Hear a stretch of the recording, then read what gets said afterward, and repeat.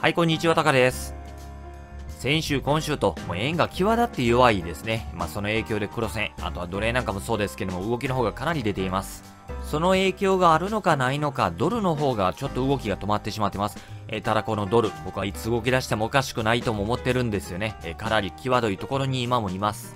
え、今週の動きと、え来週に向けた動きを少し見ていきたいと思います。こちらがドルインデックス、1時間足に冷やしを重ねています。まずは今の環境ですけども、もう3週間近いですかね。え、このレンジを組んでいますけども、え、上にあるのが今年の最高値なんですよね。ということはこのレンジというのは目の前にある最高値を意識したレンジ。え、この最高値を抜くためのレンジと考えてもいいと思います。ということはこのレンジ、足場の崩れという形になってくると、えこの最高値のチャレンジ失敗ということにもなってしまいますね。今レンジの加減ですから、来週これ下に抜けてしまったらどうしようかというね、えこういった値動きに対する警戒心はこれ常に持ってはおきたいですね。えこの高値を現状は1回試して、2回試して結果抜けていません。ただこれ下も一緒ですからね、えまだこの下のサポートも割っていませんし、え割っていなければその前には強い上昇トレンドがあったわけですから、え相場としてはやっぱり強いです。サポートされたらまた買いが入ってくる可能性というのはこれはもう全然あり得ますんで、えそのあたりの判断というのが、まあ、レンジ相場の難しいところですね。え調整局面の難しいところ。トレンドが出ているわけではないですから、相場が難しいのはもうこれは当たり前の話ですからね。え来週はこのレンジ加減での攻防、ここをしっかり見ていくことにはなりそうです。はい、こちらが4時間足、週足を重ねています。えー、週足も確定しましたけども、えー、方向感ないですよね。えー、レンジ相場になっています。調整局面というのもこれは明らかですけども、同じようにチャートが強いというのもこれも明らかですよね。え上昇トレンドが見えています。一旦ここで足場作ってくるんであれば、えー、この足場崩れなければ、いつかこの高値は抜けてくるんじゃないか。えー、今のところはそういった目線で相場の方見てるんですけども、えー、先ほども見ましたけどね、このレンジの下に今いるんですよね。下の方に抜けてしまったらこれ足場崩れてしまいますんで、そうなると簡単にドルを買っていける環境、状況ではなくなってしまうんですよね。今の状況であれば強気目線で相場の方は見れますけども、今見えてるこの下のサポートを割り込んでしまうと一気に環境が変わってしまう。そういったギリギリのところまで今押してきたということになりますから、えー、来週はやっぱりこの加減での攻防、これ大事になってくるんじゃないですかね。ドルが強い環境というのは僕はまだ考え方、今のところは変えてはいませんけども、えー、このサポート割れてまで強い強いと見ていくことはないです。サポート割れたら色々また考え方も修正していかないといけない。えー、そういった重要な局面に今差し掛かってきたということになりますね。はい、変わりまして、こちらが通貨の強弱チャートになります。えまあ円が弱いですよね。毎日毎日円が売られていますけども、さすがにこれだけ円が弱いとね、え捕まってる方も多数いらっしゃるようで、えー、金曜日なんかもライブの方もさせてもらいましたけどもね、えいつ止まるんですかという質問もたくさんいただきました。ただしまあこれいつ止まるかというのが分かればこれみんな苦労しないわけでね。でまあ予想するのもいいんですけども、その予想というのはまあ大概当たらないです。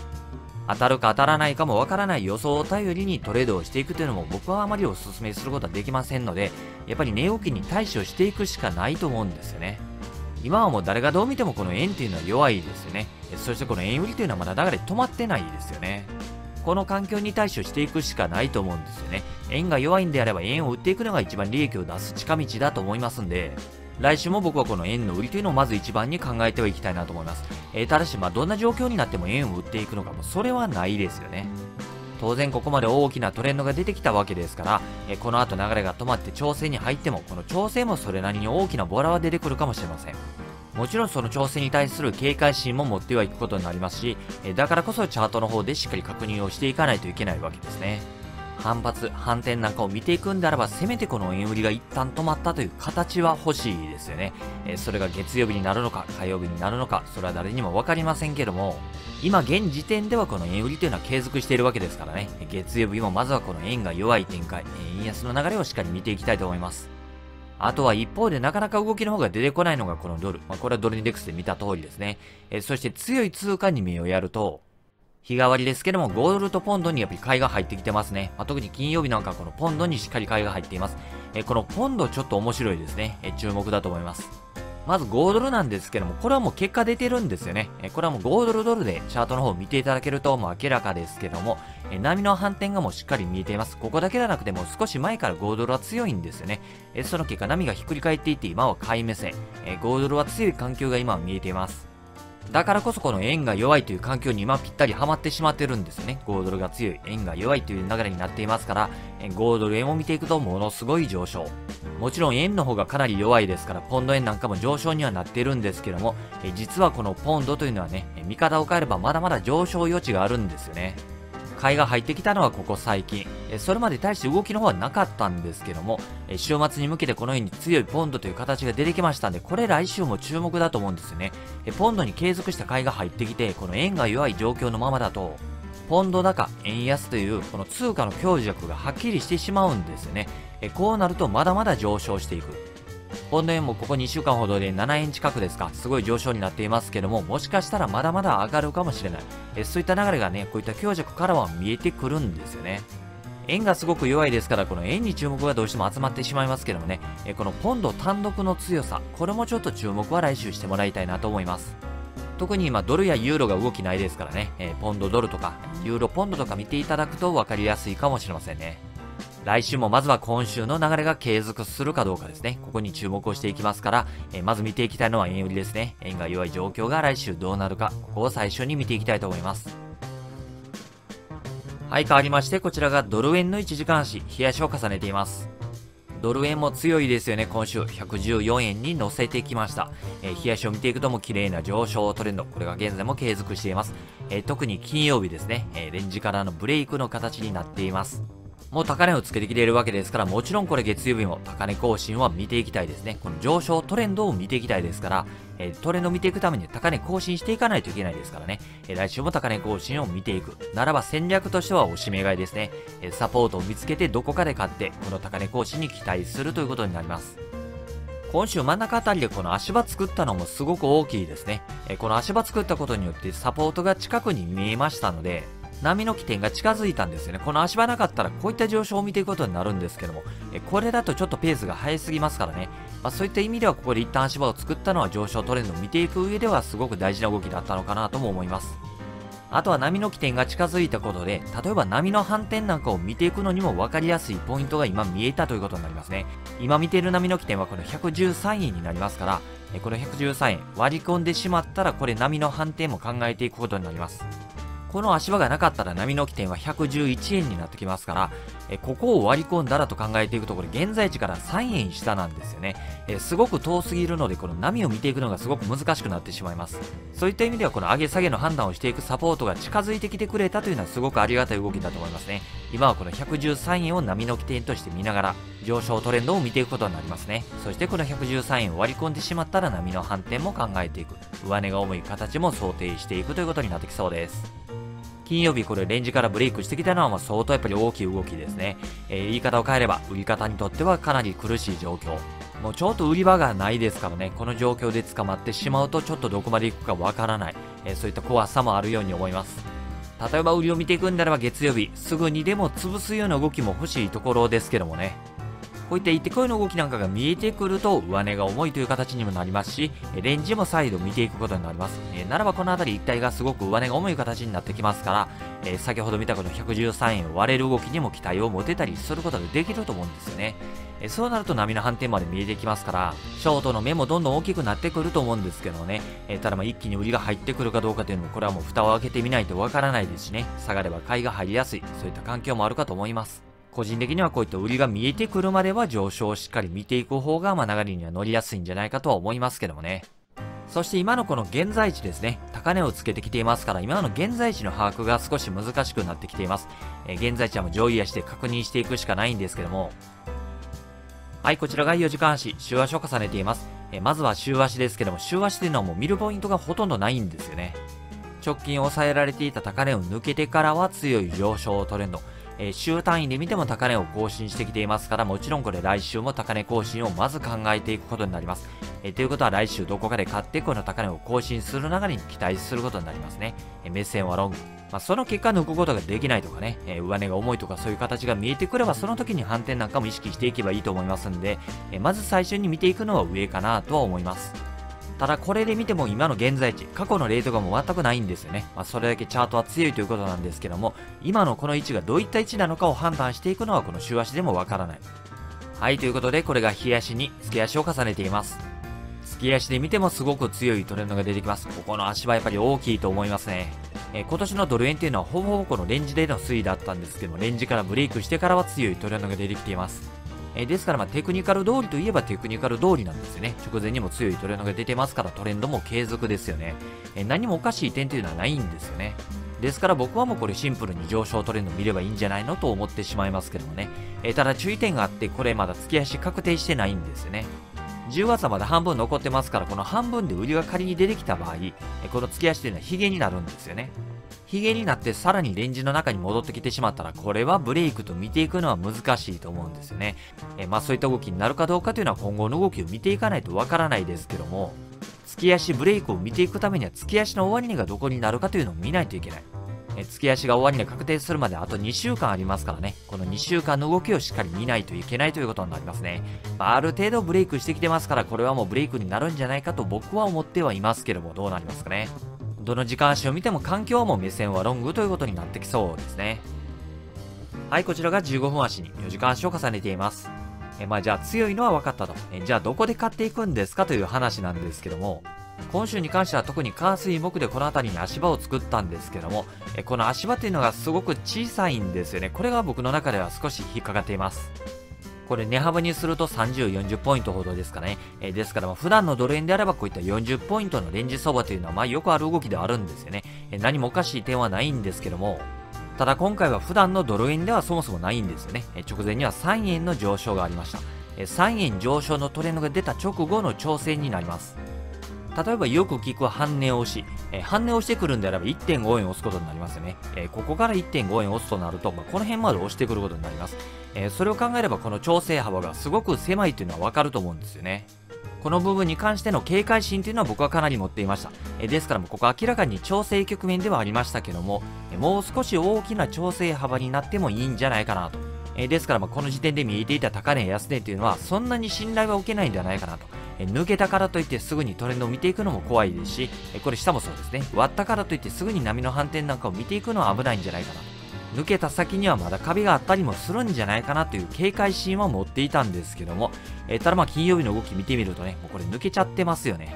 まあ、この動きを見るとこの大きな調整というのは今のところは考えなくてもいいのかなとは思います。素直にレンジからのブレイクで考えていけばいいのかなと今は思ってはいますけども、えー、ただ金曜日、夜、実は高値更新してきてないんですね。上値が重い。えー、もし月曜日これ調整局面からのスタートなんであれば、えー、もしかしたら波の反転なんかも出てくるかもしれませんね。えこの波の反転、まあもちろん流れが止まれば再度押し目買いはしていきたい環境にはなるんですけども、えこのサポートが見つからない場合、この調整の押しが深くなってしまった場合ですね、えこれは行ってこいの形、冷やしの行ってこいですね、えそういった流れが見えてくるかもしれません。まあ、そうなると再度このレンジも見ていくことになるかもしれないので、一気に状況としては上値が重くなってしまいますよね。えそもそもこのレンジ幅もかなり狭いですから、僕はもう少しこのね、レンジ幅も広く考えていたんですよね。まあさすがにここまで大きく上の方に抜けてしまうと、これはレンジとして見ていくの難しいんですけども、ただまあ調整局面としてボラが大きくなりやすい相場というのはありますからね、まあ、これが行き過ぎた動きという風に判断していくんであれば、月曜日、え売りが入ってきてしまうと買い方にとっては少しこの動きは嫌だなとは感じます。え僕は現在ドル円に関してはやっぱり買い方目線、どこかで買ってやりたいなという目線で相場の方は見ていますけども、だからこそこの深い押しが入ってしまうと少し嫌だなとも感じてしまうんですよね。浅い押しならこれはもう何も問題ないです。えむしろ相場の強さを感じますからね、積極的なロングは見たいなと思いますけどもね、えこの辺り浅いところにサポートが見えてくれば月曜日、会話見たいなと思いますけども、えこういったサポートが見つからず、押しが深くなってきた際の、押し目買いですよね。えこれはちょっと注意したいなと思うんですよね。一定声の動きも想定しながらということになります。チャートの方もかなり強いと思います。この大きな流れには逆らいたくないですから、目線としてはやっぱりロング目線にはなってしまいますけども、えー、ただしここで調整が入ってるんですよね。そしてこの調整幅がすごく狭い。この調整に対する違和感というのは、これは少し持っておきたいなと思うんですよね。え仮に深押しが入ってきた際には、これはまだ調整局面かもしれない。強い相場だからこそ、あまり偏った目線で相場の方は見ないようにしていきたいですね。来週月曜日、えー、現在はこの高値圏での値動きになっていますから、えー、もちろんまずはこの高値更新を意識してサポート探しですね。もちろんサポート見つかればそこからロング、高値更新も意識していきたいところですけども、えー、そういったサポートなく深い押しが入ってきた際の押し目買い、これは十分注意はしていきたいと思います。はい、変わりまして、こちらがニューヨークダウの CFD、1時間足に冷やしを重ねています。ダウがかなり強いんですけども、ポイントはやっぱりこの金曜日ですかね。直近の高値抜けてきたんですけども、これによって現在地の把握が少し難しくなっています。この辺りの動きというのも分かりやすいですよね。レンジそばなんですけども、金曜日に抜けてきています。この動きによって環境、何か変化があったのかどうかですね。はい、こちらが4時間足、週足を重ねています。え、週足の確定によって、えレンジからのブレイクが見えていますね。え、じゃあこのレンジというのは一体何のためのレンジだったのか。レンジですからね、これ売り買いの攻防なわけですよね。えじゃあ売り方と買い方がどこにいるのかですね。えまず買い方目線で見ていくんだろう。これはもう上昇トレンドのおしめ買いじゃないですかね。流れが止まってくれば買いは見ていきたい。では売り方目線はというと、やっぱりこの高値をバックに売りを見ていこう。波の反転を意識した売り方ですかね。えですから高値から見ていけばこういった下落トレンドを見ていきたい。えこういった買い方と売り方の攻防がレンジになっていたんではないかなと。そして今週の値動き、まあ、特に金曜日ですね、え高値を抜けてきたことで一つの決着はついたんではないかなと思います。赤い波の勝利ですね。青い波の敗北。ただこの青い波の敗北といっても完全敗北ではないんですよね。え完全敗北はこの高値を抜けてきた時です。えそういった意味では次の攻防はこの高値の攻防ですね。もう最後の攻防になってくると思いますけども、えこの攻防の決着を見ていけば次の流れが見えてくるんではないかなと。